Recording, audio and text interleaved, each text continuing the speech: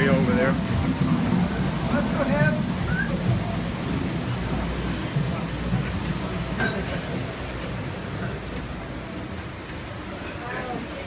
Even the metal legs are powered with, with the same water. Same wheel.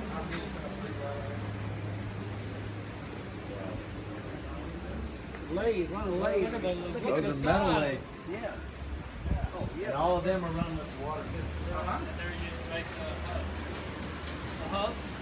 No, we make the hubs also, oh, but now we are using some very old hubs that were Oh, that reuse. we got it from a long, long time ago. But now sometimes that people want new ones, we, we, we make. Okay, let's go over there to the pages here.